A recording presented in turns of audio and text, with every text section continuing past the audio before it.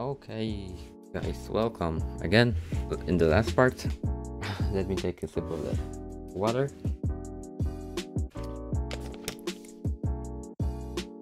And yeah, let's go. So,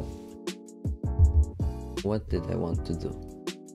Okay, so first thing we can do is going to post post processing stuff, which is here, and we can enable some post processing. So ambient occlusion was enabled before. It, it is very slight, but it's visible as you can see. Uh, we can add the bloom. So you can see that, uh, yeah, we have a bloom on the top of our model because this is the most li lightened part and I don't want that much light. So we can uh, increase the threshold, threshold to some bigger number, 1.5 Maybe 1.3 is okay. 1.3 is okay. Looks very nice. And uh, let's move on. Depth of field. If you want depth of field, you have to also have the camera. Maybe we can add the camera first. So, if Shift A to add the camera, and it is uh, on the default position, so in the middle of the female. So female torso. Sorry guys, I didn't meant say that. And we can move uh, move it back. And as you can see, it is very small. So we can go to the output section, which is under the post-processing stuff. And we can increase the resolution to uh, 2K, I think. 2K is okay. So 2048 and 2048 and yeah it, now it looks like a square. And first thing we want to do is going to the other um, panel which is object data. Uh, this is quite confusing a bit but yeah blender made it that way. And we have to accept that. And we want to now change the type to orthographic. And you can see that it is a lot bigger and if, if you click 0 on the numpad we can go to the uh, border of the camera. So we can see that it is too small right now so we can increase the orthographic scale to make it bigger. And also we can shift it on the y axis a bit to fit perfectly in the center. So yeah so we have our camera done. So let's move back to the post-processing panel so render panel.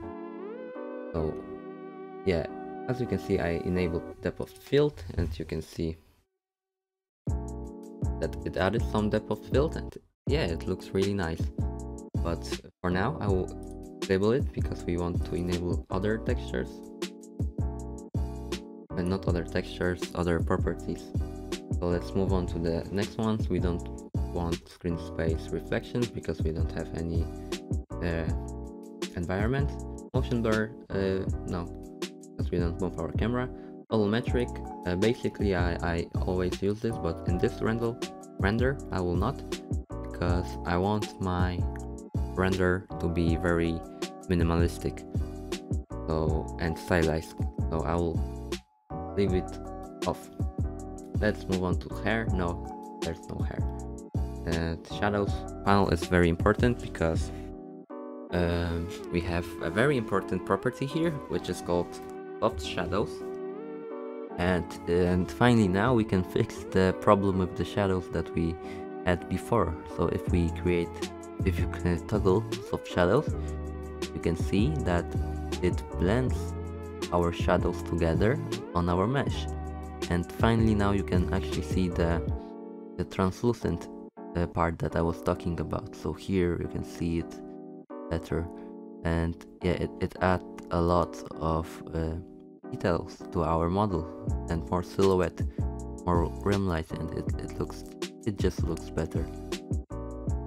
So let's move on to the next one which is indirect lighting. No we don't uh, use that because we don't want to bake our light film.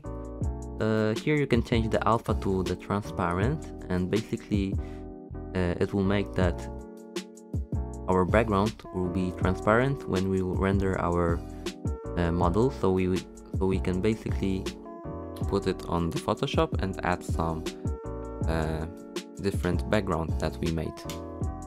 Okay so let's go to the color management. And here uh, we can change the look of of the what the hell?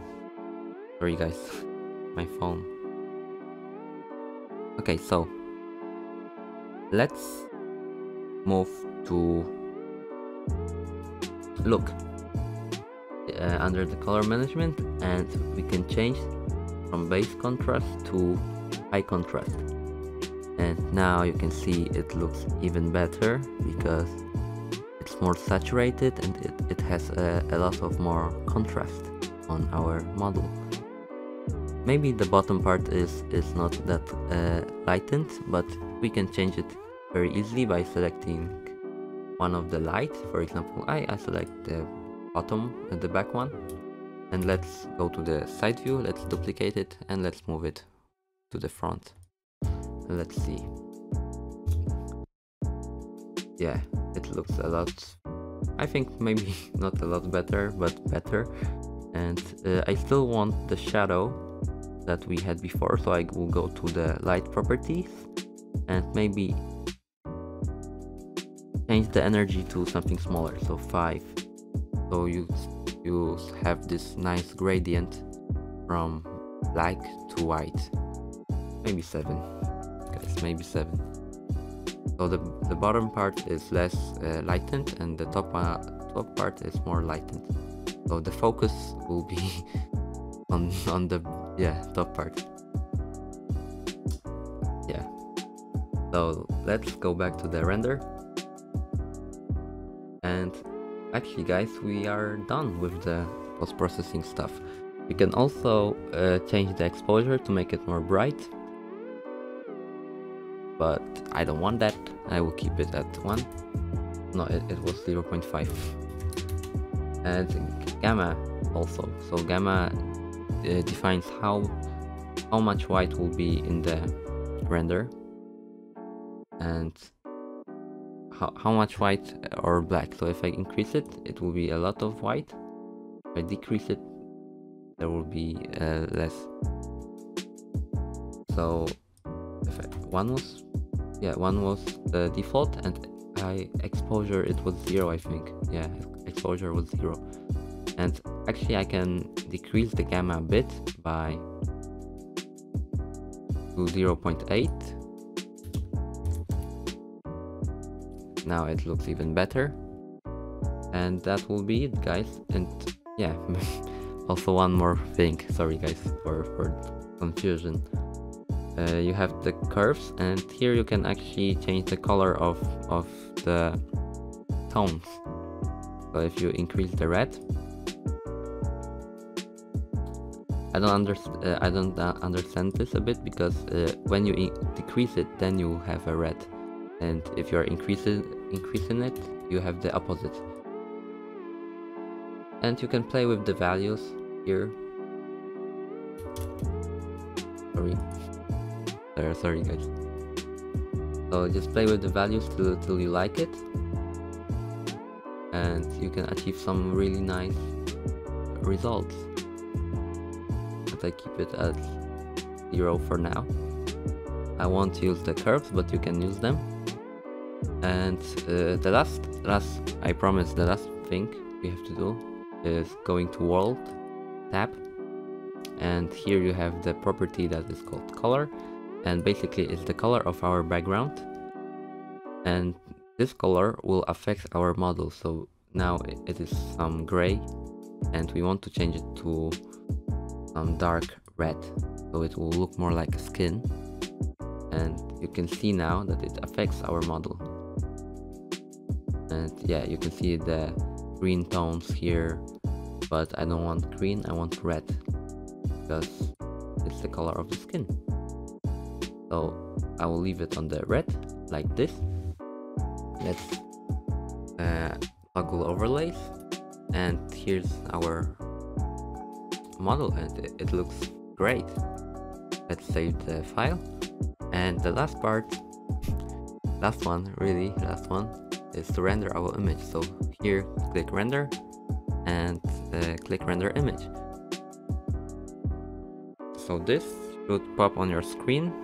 Uh, it popped on my second screen and I will drag it onto my screen now. Yeah, and here's the our final final result. So save it guys. And this is transparent so you can put it anywhere on the Photoshop. Uh, let's call it tutorial. Oh my gosh. Render. Tutorial render. And yeah, this is the end of the series guys. I hope you liked it. And uh, see you guys in, in some future videos. So goodbye.